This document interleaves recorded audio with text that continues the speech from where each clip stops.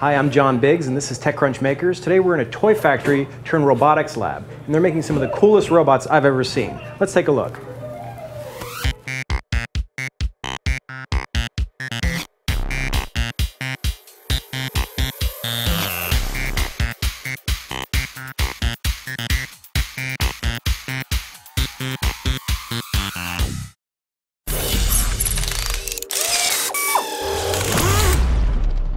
We're here with Sarjoun Skaff, uh, CTO of Bossa Nova Robotics. Bossa Nova Robotics. So you guys started out in toys. So Yes. these are some of your toys originally.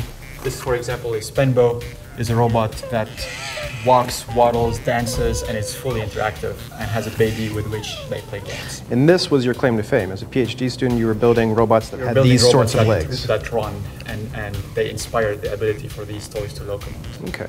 So you built these toys for a number of years. Yes. What's happening now with the toy line? So we've always had the ambition to put robots in people's lives. Now is the time for us to take a step towards personal robots. So this is a very personal robot. This is something It's you very leave with your children. You get to hug it. So it's so what we're doing now is we're going to move over into the workshop and we're going to see some of the first prototypes of this personal robot, which I guess you you explained as being sort of like Rosie on the Jetsons. This is where we build both the hardware, the electronics hardware, and the mechanical hardware. And what you see here, for example, is the controls board for the Ballbot and uh, custom built in, in home. And this is what allows the robot to stand upright. And you have 3D printers in here. Because it allows us to very quickly build structural components from which we can build prototypes and test things at, at a speed that we couldn't do before. So let's take a look at your first prototype Yes. of the Mobi, which I'm very excited to see.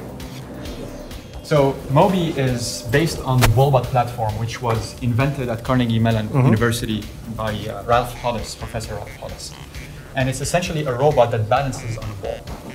And to do that, you need to be able to turn the ball with motors and also to sense any tilt from the robot so that you can act on the motors and have them correct for that tilt so the robot can stay upright.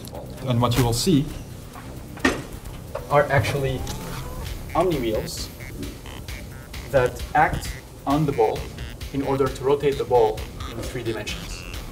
And we have just above it accelerometers that can and gyroscopes that can sense deviation from vertical, and we act very quickly on the motors 400 times a second in order to correct any deviation from from vertical and, and stay upright. So can we start this guy up and, and take a look at him? So as you can see, the robot is actually balancing right now.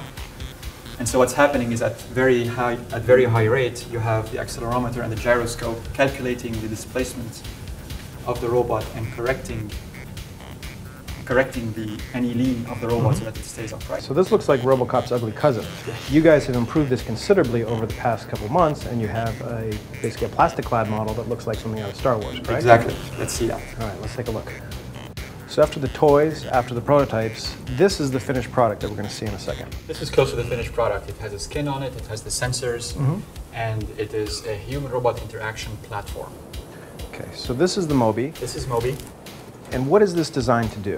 What the ballbot mechanism affords us is the ability for the robot to be tall and therefore interact at eye level, but also be thin and therefore go through doors and in spaces designed for humans. And actually, it has a single point contact with the ground, which means it can really go around obstacles. Mm-hmm. The other very interesting aspect of it is that you can actually move it simply by pushing and pulling on. And what happens when the ball gives out or something inside gives out? So if there is any problem happening, we have actually an e-stop or, it, or it, it uses its own sensors to sense a problem.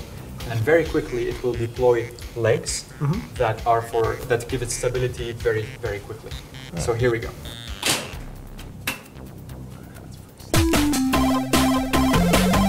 So instantly the legs come out. Uh, it's a new design that's patent pending that allows the legs to come out without power. Now, where am I going to see a robot like Mobi?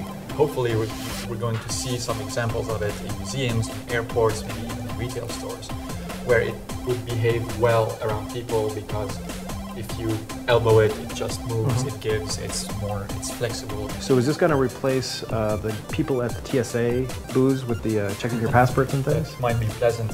Hopefully, it's going to be actually taking you to uh, the gate where you where you where you want to go, speaking in your own language. So if you're a foreigner and you don't know how to read the signs, it's there to help you. So it's a helpful tool. So this is Sarjoun Skaff, This is Mobi, and this has been TechCrunch Makers. Thanks for watching.